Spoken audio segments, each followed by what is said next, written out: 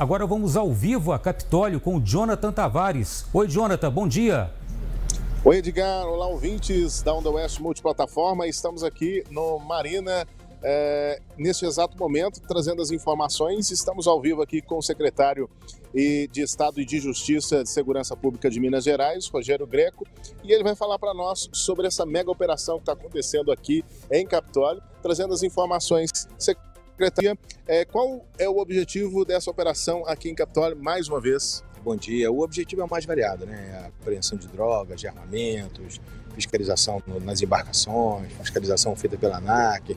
Então, é uma, é uma operação assim bem, bem, bem grande, bem extensa e já está já tá vindo aí desde, desde o finalzinho do carnaval. A gente vê muitos policiais envolvidos, temos uma estrutura aqui. Quantas pessoas estão participando dessa operação?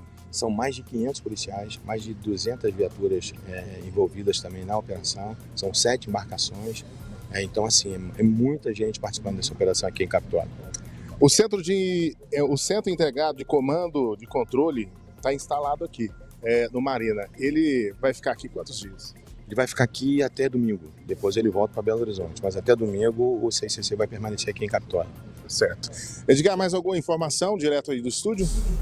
Ô, Jonathan, é importante ressaltar aí com o secretário de Segurança Pública de Minas Gerais, cumprimentar ele por essa ação em Capitólio e também na região, é, porque Capitólio é uma região turística, vem muitos turistas, visitantes, mas vem também muitas pessoas mal intencionadas.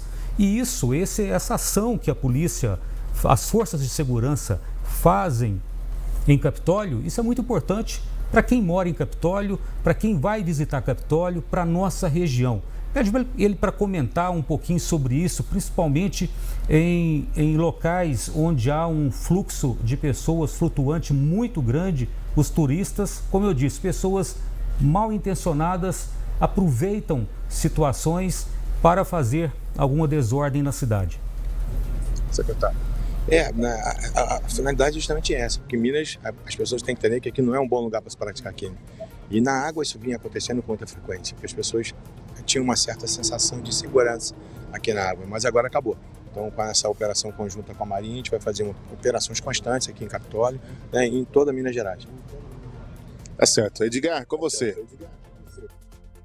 Jonathan Tavares falando ao vivo de Capitólio, as forças de segurança, Polícia Militar, Polícia Civil, eh, Polícia Federal, também a Receita Federal, uma série de órgãos e entidades estão em Capitólio a partir de hoje até o próximo domingo, fazendo uma operação, Operação Mar de Minas 3. Lembrando que outras duas operações já foram realizadas em Capitólio. Então, mais uma vez, se você passar por Capitólio, ver lá uma movimentação muito grande de, de policiais, e você pode ficar ciente que se trata disso, dessa operação que a Secretaria de Estado de Segurança Pública está realizando no município de Capitólio. A gente traz outras informações ao longo do dia e nas nossas redes sociais.